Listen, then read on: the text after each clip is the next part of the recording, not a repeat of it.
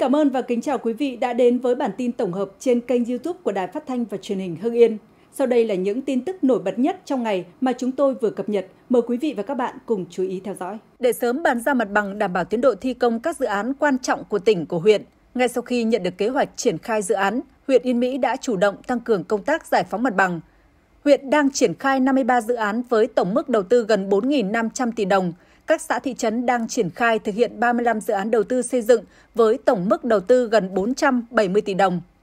tập trung chủ yếu cải tạo nâng cấp mở rộng đường giao thông, xây dựng cơ sở vật chất, trường học, nhà văn hóa. Đến thời điểm hiện tại đã giải phóng mặt bằng được trên 100 hecta, số hộ đã nhận tiền gần 1.500 hộ, tổng số tiền đã chi trả trên 600 tỷ đồng và hoàn thành cải tạo nâng cấp gần 20 km đường giao thông. Để công tác giải phóng mặt bằng các dự án đảm bảo tiến độ, huyện Yên Mỹ đang tập trung triển khai thực hiện các dự án trọng điểm có ý nghĩa đối với sự phát triển kinh tế xã hội của tỉnh bằng việc tăng cường sự lãnh đạo của các cấp ủy đảng, chính quyền địa phương. Trong đó trọng tâm là tuyên truyền, vận động đến từng hộ dân có đất bị thu hồi, hiểu và đồng thuận bàn giao mặt bằng. Dự án nâng cấp mở rộng đường 382 qua địa bàn xã Lý Thường Kiệt có chiều dài 2,2 km, để dự án được triển khai theo đúng tiến độ, ngay sau khi nhận được chủ trương, xã Lý Thường Kiệt đã ban hành ngay việc thông báo tuyên truyền trên hệ thống loa truyền thanh và tới từng hộ gia đình giải thích tuyên truyền để nhân dân chấp hành. Như vậy, chỉ trong thời gian ngắn, trên 280 hộ dân sinh sống dọc hai bên đường đã tự tháo rỡ công trình. Dự án nhánh trái, nhánh phải đường cao tốc Hà Nội Hải Phòng cần thu hồi gần 6 ha đất nông nghiệp của trên 130 hộ dân. Với nhiều hộ, việc canh tác đất nông nghiệp là thu nhập chính nhưng khi được chính quyền địa phương giải thích, tuyên truyền về ý nghĩa mục đích của dự án, thì 100% các hộ dân đã đồng thuận với chủ trương sẵn sàng bàn giao mặt bằng. Đường mở rộng thì kinh tế phát triển là trong đó có nhân dân chúng tôi tôi rất là vui. Gia đình của chúng tôi đều đồng thuận và đều nhất trí là mình sẽ uh, giao ruộng trả lại cho nhà nước. Xã Lý Thường Kiệt đang tiếp nhận 3 dự án quan trọng của tỉnh là dự án nhánh trái, nhánh phải đường cao tốc Hà Nội Hải Phòng, dự án nâng cấp mở rộng đường 382 và dự án đường tránh 382 với tổng diện tích thu hồi gần 10 hecta đất. Xác định công tác giải phóng mặt bằng là một trong những khâu quan trọng quyết định đến tiến độ hoàn thành dự án. Ủy ban nhân dân xã Lý Thường Kiệt đã chủ động đối thoại, giải thích, tuyên truyền để nhân dân hiểu, Nhờ đó, gần 180 hộ dân có đất nông nghiệp đều đồng thuận sẵn sàng bàn giao đất cho dự án, góp phần đẩy nhanh tiến độ, sớm bàn giao mặt bằng cho đơn vị thi công. Ngay sau khi nhận được chủ trương thu hồi đất nông nghiệp phục vụ dự án đoạn tuyến quy hoạch mới ngã tư Tân Việt, gần 400 hộ dân có đất nông nghiệp đã đồng thuận phối hợp với địa phương đơn vị chuyên môn tiến hành kiểm đếm đất đai và tài sản trên đất, trong đó hộ ít thì vài chục mét vuông, hộ nhiều lên tới gần 1.000 mét vuông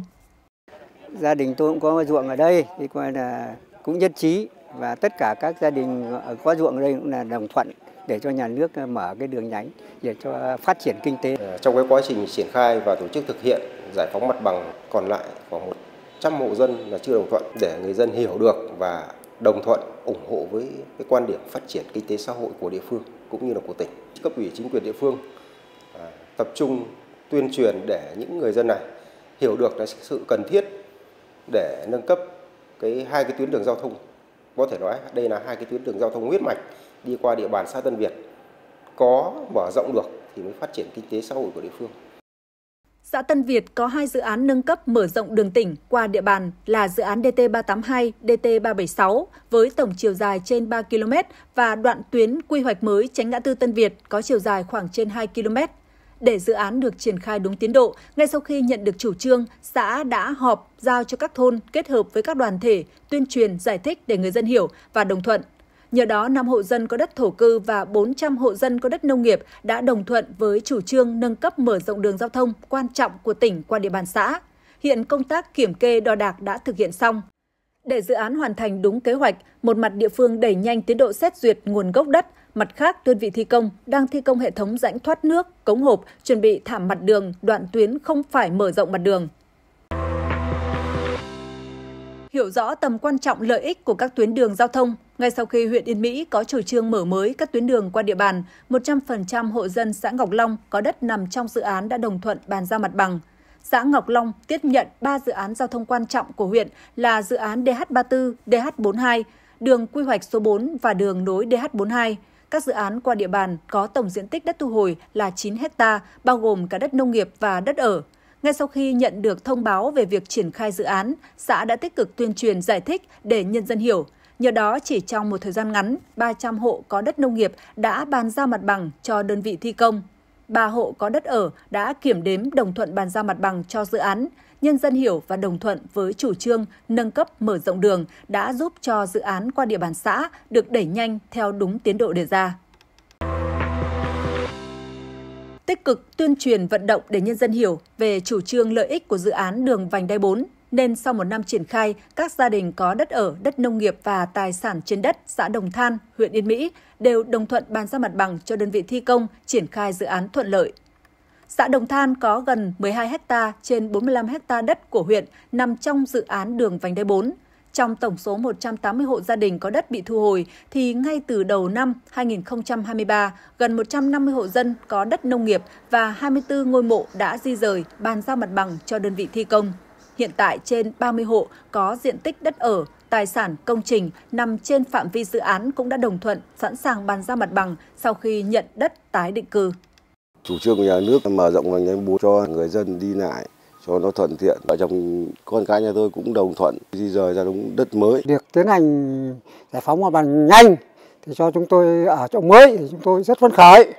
Có được kết quả trên là do ngay khi nhận được chủ trương thu hồi đất Đảng ủy, Ủy ban Nhân dân xã Đồng Than đã ban hành quyết định thành lập tổ tuyên truyền với sự tham gia của các ban, ngành, thôn, tuyên truyền trực tiếp và gián tiếp giúp cho các tổ chức cá nhân nắm bắt chủ trương, chính sách bồi thường, hỗ trợ của nhà nước khi thực hiện dự án. Nhờ đó chỉ trong một ngày, 100% hộ dân có đất nông nghiệp đã tới nhận tiền hỗ trợ giải phóng mặt bằng và là địa phương có tiến độ giải phóng mặt bằng dự án đường vành đai 4 nhanh của tỉnh.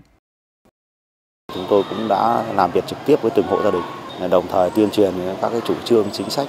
của của nhà nước đến các hộ à, các hộ cũng rất là phấn khởi với chủ trương à, sẵn sàng bàn giao đất à, của gia đình cho dự án được thực hiện. Để người dân có đất ở nằm trong dự án yên tâm khi bàn giao mặt bằng, xã Đồng Than tiếp tục vận động thành công các hộ gia đình nhường 1,8 hecta đất bàn giao cho huyện để triển khai hạ tầng khu tái định cư. Hiện dự án đang được đẩy nhanh tiến độ để nhân dân sớm về nơi ở mới, bàn giao mặt bằng còn lại cho đơn vị thi công.